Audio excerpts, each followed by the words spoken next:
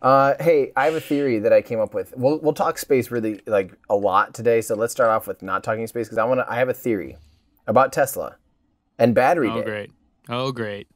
I realized that Tesla has never had an existing product and then had like the opportunity to like announce a big change on it. They normally just do like you know the little incremental change, you know, like the we changed the bumper, we upgraded the cameras, we upgraded the battery pack, you know, just these little things. But they've never had a product that needed a full refresh before, right? Like all their presentations are for a new product, not All their presentations Yeah. are for a new product. So they can't, if they're going to do a pretty massive refresh of an existing car, they can't say it's going to be the Tesla Model S and X refresh event because the day they someone catches wind of that, it is gone. Like every sale of the S and X is gone, right? Mm, So they have to do like a battery day. I think battery day for sure. Like the mo- especially now with the price drop last week, I'm starting to think the uh, battery day is actually just a Model S and X refresh. they did have autonomy day. They did have autonomy day, and they also had dual motor day, They had a which was when the motor Model day? S. Yeah, uh, it was when the Model S they announced the dual motor version for the first time.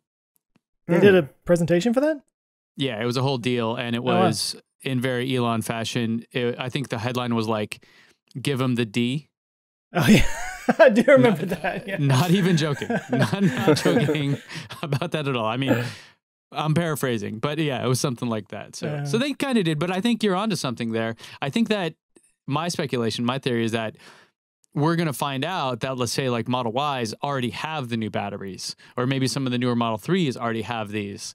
Um, you know that, and uh, oh, sincerely hope that there is like an S and X. I don't know if it's an S and X like refresh necessarily, like design wise, but if you just said, "Oh, now it gets 700 miles and it's cheaper," or or forget that it can go 700 miles, just like it's super cheap now, and you know you Mhm. can do that or something. Yeah, there there could So- be some plays there. Yeah. My speculation was that maybe not it's already in cars, but that it's going to be like they would be dropping it as soon as they finished with the battery day. Like in my head, because I have multiple you know personalities conversating in my head. Like one of the personalities was like. Because you know they don't they don't announce things that they don't already have ready to go, and then my other head's like, "Where's the Roadster?" Oh, You know, so yeah. yeah, I don't know, but um, well, s- good that's theories. my that's my that's what I'm wondering. Well, I think Since we're here, or go ahead. I was going to Yeah, say I mean, there is I- something we can talk about about this. So well, I mean, I think for sure, like we'll see the the plaid powertrain come out right with that, or is that not the right time?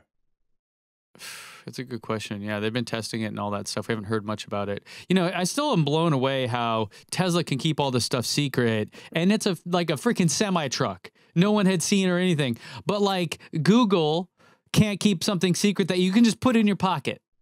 like, how is that a thing? Yeah. How is it not like, oh wait, someone almost took a photo of that. Whoop! Now it's in my pocket. You know, it's all Yeah. gone. Well, Yeah. and with all the, especially like when you look at Starship and how much attention, I mean, I know it's a different company and everything, but like there's just cameras on it all the time, you know, and, and then like you had the Cybertruck get unveiled and everybody was just, go, just nobody saw that coming. Yeah. I mean, we were there and it was just like, what is this?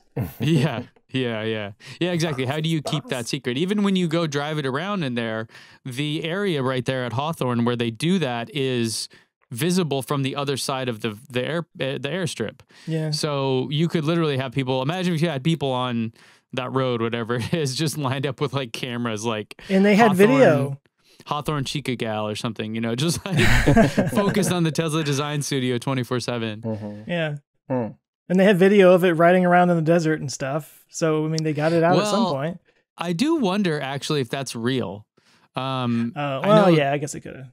Because well, we talked about that, right? Did we talk about on here the uh, what's it called, Blackbird Two or something? It's like this car thing that they use for movies, where they All right. have you guys seen this?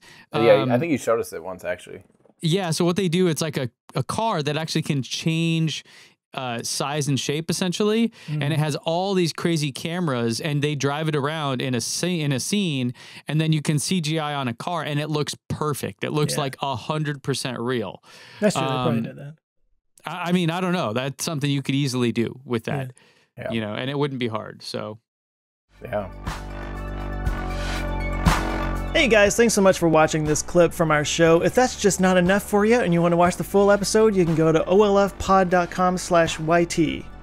And if you want more from us, you can consider becoming a Patreon member. You'll get early access to episodes. You can join our awesome community. You can actually watch us record live and get your name in the credits by going to olfpod.com slash Patreon. So thanks everyone for watching. Check back every Friday for new clips here and new episodes on the main channel. Thanks, everybody.